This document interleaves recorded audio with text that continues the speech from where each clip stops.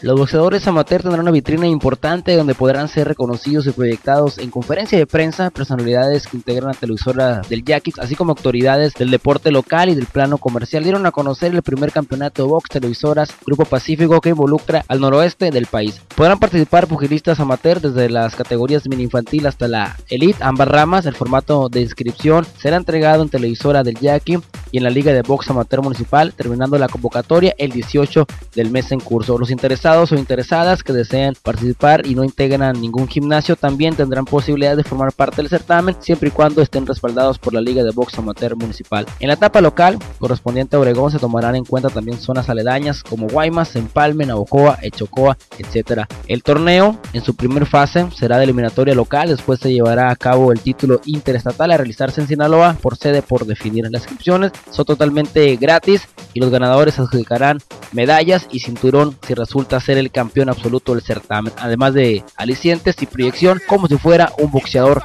profesional. El conjunto de Sindicato Gamesa doblegó por la mínima diferencia al equipo de Omapaz en duelo correspondiente a la fecha 6 de balompié mayor en la categoría intermedia. El único tanto lo marcó Tomás Esquera al minuto 20 del tiempo corrido. Al final Omapaz terminó con dos expulsados y a pesar de su inferioridad numérica generaron peligro en el arco rival en el ocaso del juego donde Sindicato Gamesa terminó pidiendo la hora.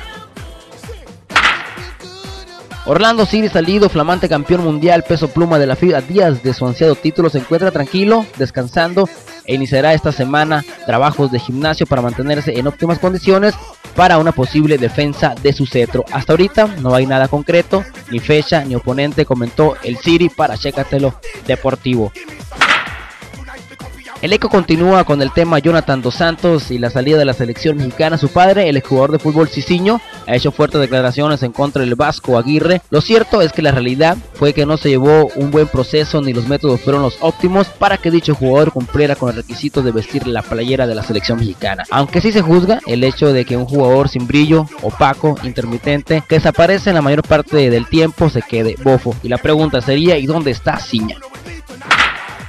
Jaime García, el zurdo mexicano, se apuntó el triunfo en la victoria de los Cardenales de San Luis 12 por 4 sobre los Rojos de Cincinnati. García estuvo por espacio de 6 episodios, permitió 7 imparables para 3 carreras, de las cuales 2 fueron limpias, otorgó 6 bases por bolas y recetó 6 chocolatillos sabrosos. Con dicha actuación, el lanzador azteca obtuvo su quinta conquista en lo que va de la campaña, informó para Chécate lo Deportivo Obielsos.